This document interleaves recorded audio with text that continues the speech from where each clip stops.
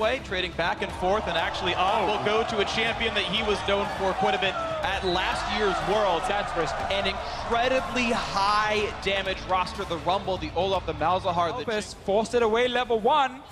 Ramana only has the jump. He's going to go for the jump off to the side, getting away from the axe, but it's going to be enough damage for Mountain. One more chop, and there's the first blood for HQ into the top lane. Huge answer top side there for Mountain, and Being here comes Jankos looking for the gank. Alba's a bit low, walks right in, but suddenly Mountain's there as well, and he lands the stun. So Vander to keep him alive, puts the shield up, blocks some of the hits now.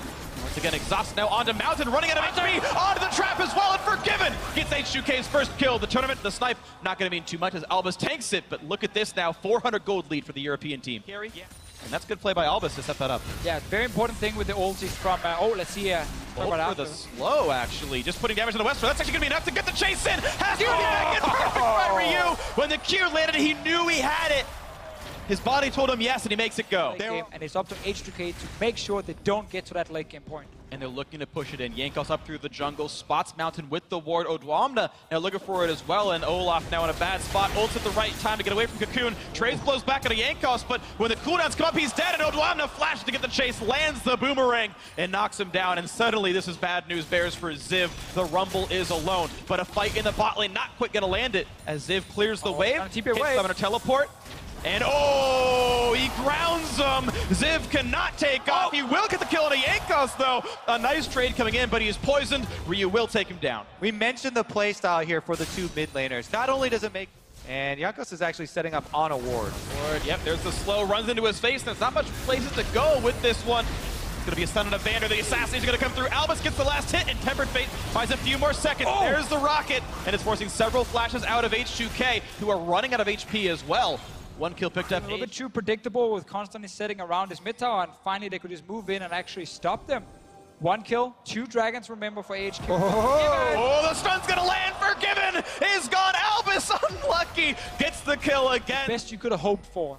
We can get the fact of Ryu. On a ward, trying to make the play. and He's just running out of HP way too fast. There's the kill picked up, and again, mistakes by H2K in the mid game. Wards don't just save lives, they also Step one is always pushing up that mid lane. It gives you access to the river, and then you can go to Baron, you can go to Whoa, Dragon. the flash play. They're gonna Oh! remove the chance to flash out, and on is gonna get blasted. Well played by Ryu. Now for the re-engage. A lot of damage coming across the burn, back and forth. Undertow hits a few, but Ryu has the slows now on a Mountain, who's already lost his ultimate. It's a 5v4, and it might be more for this one. Not gonna land the ulti though from Vander, and AHQ will survive with the rest of their Yes, it becomes difficult, especially without Oh, here comes Westdoor with the ghost. Where's he going? Looking for the play, gets the ulti onto Jankos. Tempered Fate to dodge the rest of the team, and he's gonna drop right down into Flame Chompers. There's the root, there's the kill. Great snipe picked up. Westdoor setting it all up and making it happen. And now, no jungler. Let's go Baron. Yeah, Jankos greeting with the flash here. As soon as Westdoor was in range, Jankos could have flashed out, but no, he saved it. Then he got stunned.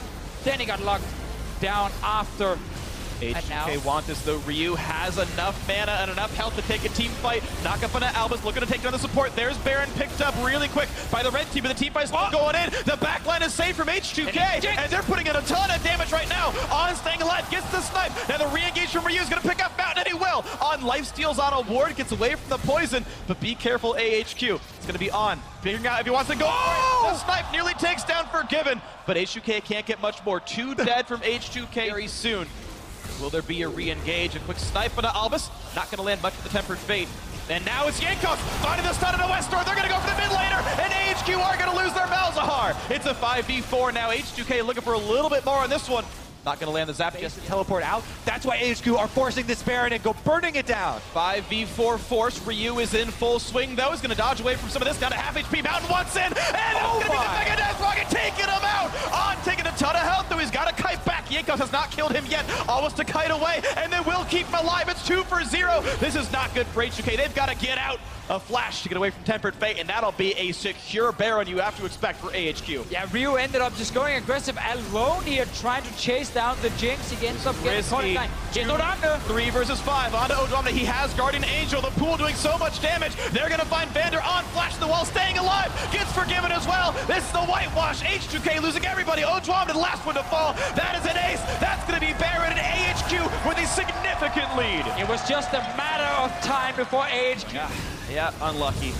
Lost their lives for this one as AHQ have also managed to knock down the mid inhibitor and then come down, take the L. Kobe, you highlighted the amount of HP's gonna get back. Let's talk after because engage. For the play, great equalizer off the top. Vander running out of help, and he's gonna get sniped down. Another kill picked up here. Odoamne running for dear life under a thousand. It's going to be already the inhibitor turret gone. The inhibit self also 5v4. AHQ still wearing buffs for a couple more seconds. Looking for the death though. Looking to take it down right now. They've got super minions. They've got a ton of damage on a Forgiven. 600 damage crit there. The first turret gonna fall. Looking for number two as well as Ziv in the battle with Odoamne. Gets revenge from earlier on in the game. And that's going to be the second turret down five versus three. H2K backs against the wall. The recall and the teleport back in for Ziv to be full HP to go for the next to close it out here in the group stage. One more hit will do it. Not quite going to find the kill. AN actually going to lose his life, but they're going for the Nexus. They're going to have the damage, and AHQ takes down H2K for their first match of the group stage. This game honestly went almost as predicted. Early game in favor of H2K, late game in favor of AHQ, but H2K simply didn't manage to snowball their advantage. Mid game, way too often didn't they have any objective in mind, and when they actually thought about Baron, there was this vision in the river, never invade the enemy jungle, never really push it further, and AHQ just had enough time to scale into late game and start punishing mistakes from H2K. AHQ honestly played so well around that Baron, though. You know, on taking that CS deficit in the Jinx lane, they were fine with doing it. They had the Bard as well to try and you know move across the map and create plays. The the biggest issue has been Westdoor for them. Moving forward in this group stage, uh, if we're looking at this team to really make that push and, and get out, which they're in a very good position to do.